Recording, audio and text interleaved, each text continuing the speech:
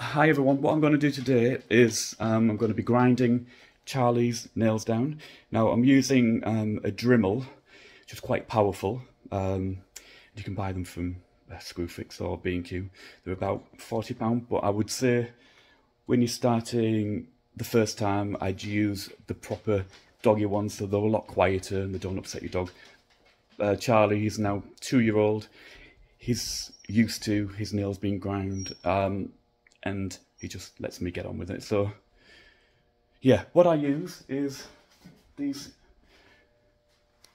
licky mat and I put peanut butter in it and I put them in the freezer and then they're ready to be licked away. Make sure when you're buying your peanut butter, use one that doesn't have palm oil in. Palm oil is a bit toxic for doggies.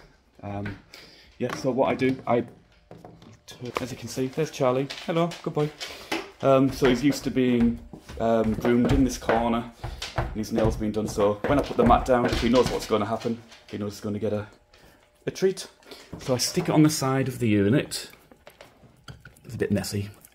Um, yeah. So he's now licking the peanut butter off the mat. So it makes it a lot easier for me to grind his nails. I'm going to see if I can put the camera you'll be able to see me grinding. Grinding. Um, there we go. So as he's picking away, I tend to do most of my grooming and um, nails and everything whilst the dogs are licking the peanut butter. It's a lot easier. So um, what we're doing, we're grinding. So this is a Dremel. It's quite loud. So yeah, I wouldn't start with this one, I'd start with a doggy purpose one. And what you need on it, you need to have the stone on the end. Don't use sandpaper, because that tends to um, get the fern um, and tangle it all up and it can hurt your dog. So I would use the stone grinder. So yeah, so make sure your wire is underneath your dog.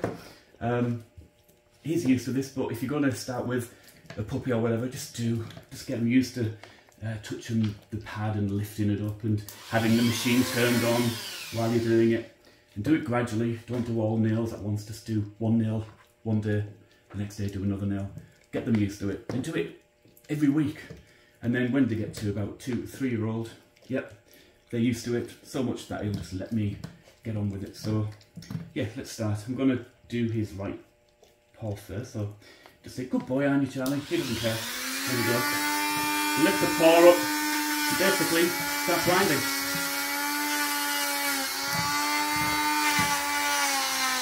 And he'll let me know if he gets a little bit sensitive, he'll pull his foot out the way and put it on the floor. But I just generally do all of them quite quickly. And I tend to do this once a fortnight.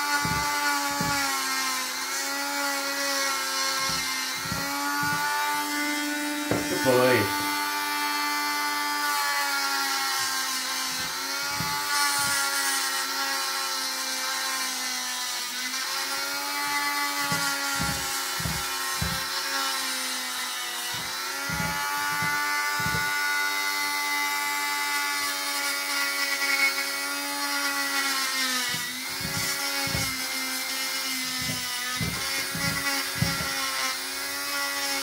There we go. I don't tend to spend too much time on one uh, foot. Um, I'll do it for a couple of minutes, then I'll go to the other foot as well. So here we go. It can get a bit awkward. Um, tend to be stuck. I mean, if you want to get your dog used to going on the table to be groomed and things like that, you can do. But I've never used one.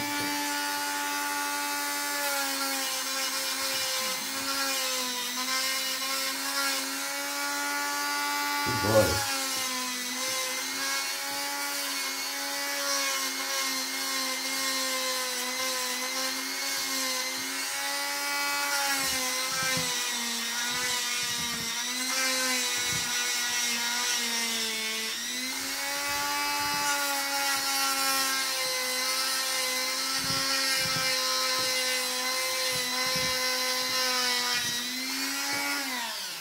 you go.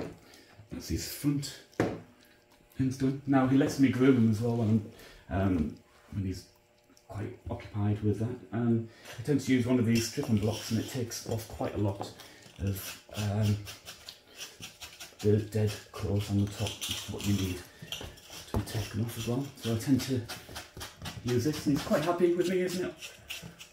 All over his body. You're a good boy, aren't you?